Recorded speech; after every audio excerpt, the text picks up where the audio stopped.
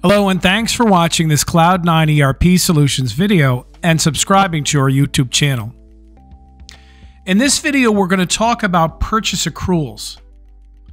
So in Acumatica, we have the ability to track everything that has been received but hasn't been billed yet. We're talking about purchasing. So we have a purchase order, we receive it into stock, but we didn't quite yet get the bill. So we have a bunch of reports in the system to keep track of that. All of these reports, if we click on show all, we have a, a, purchase accrual summary and accrual details, and you can see the billing summary here as well. But Acumatica has added a new screen for the purchase accrual balance. It's an inquiry screen. So if we go over to it, and what it shows is it shows a list of documents. So it'll show us purchase order receipts and returns and accounts payable bills. But why is it showing this to us? So for purchase order receipts, it is those haven't been billed yet.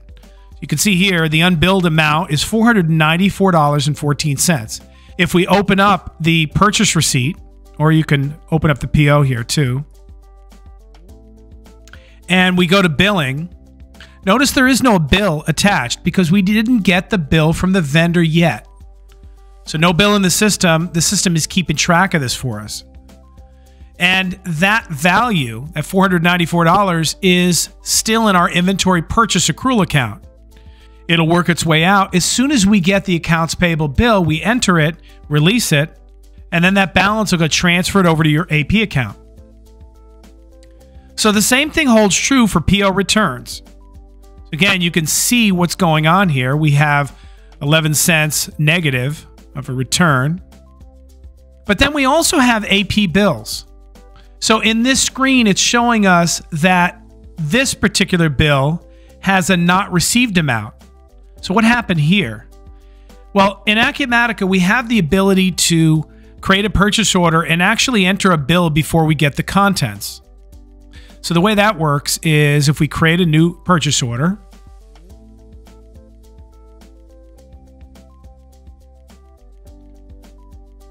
and we'll select the vendor.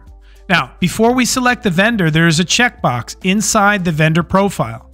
So if you open up the vendor profile and you go to purchase settings, there is allow AP bill before receipt.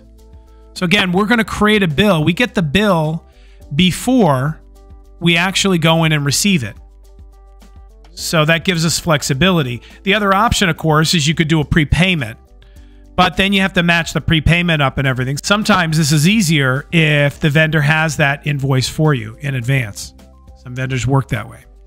So, but if we close this and then we also go to the other tab, this is inherited from the vendor. So later on, you could take a look at this checkbox when you want to finish this purchase order and create a bill from it. But if we go back, and we add an item,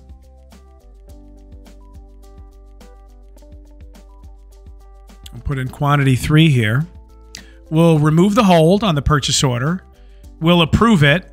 We're an admin, so we can approve it ourselves. And then we can go over here to our ellipse menu and enter the AP bill. That option is enabled.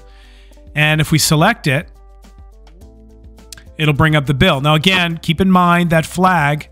You have to make sure the vendor is allowing this. Otherwise, you'll get an error message before the screen. So we'll put the invoice number in here and we'll remove the hold and release it. So that's what we did. We put a bill in for that purchase order. If we scroll over to the right, you will see on the line the PO number. If we open it up and we click on the PO history, you can see the bill here. A lot of people ask me, why did Acumatica add this a ways ago? This was actually added a few years ago because of this reason the ability to separate the purchase receipt and the bill as they may happen in a different order. So if we go back to our purchase accrual balance inquiry screen, our new one, and we refresh, notice you have a new document here for that AP bill. And that's what it's telling us. It's giving us a list of bills that we've created, but they haven't been received yet. The other thing we could see is values for drop ship amount, but not invoiced. So let's take a look at how that's done. So we click on and do a new sales order. We'll select our customer. We'll choose an item. Say quantity two here. And then this is going to be a drop ship. This line is going to be drop shipped. So let's scroll over to the right and we'll mark this for a PO. You're doing a lot of mark for PO, then you'll probably want to move these two columns closer over to your quantity. Um, but we'll select drop ship here. And we can do this from our main purchasing screen. We have a processing screen that can scoop up all of these mark for PO orders and lines and generate all your purchase orders. But in this case, we'll click over here and we'll create a purchase order. So we'll say process all. There's only one purchase order being created, so we're brought right into the purchase order. It's a drop ship, it's all set up. It's linked back to the sales order number. You can see here. And if we remove the hold and go into our ellipse menu, we can enter the AP bill because this vendor allows it. Again, make sure you check the vendor profile. That's a preference whether the vendor will send you, whether you want to allow entering AP bills before you receive. But we'll put in the vendor invoice number. We'll remove the hold and we'll release. Keep in mind, my preferences have holds everywhere. Normally, you don't have a hold on some of these screens. Uh, they're generally, the hold is generally for additional workflows where you want to hold things up before somebody can maybe take another look at it, assuming you're not using approvals already. But if we go back to purchase accrual by balance and we refresh, again, now you can see that new AP bill. And it's $500 drop ship, but not invoice, meaning we didn't invoice the customer. So that's a red flag. So this screen gives us good visibility as to what's pending. What do we need to create AP bills? What purchase receipts are out there? But we still have 687,000 of bills that we can plan on. The vendors are probably not going to forget about it.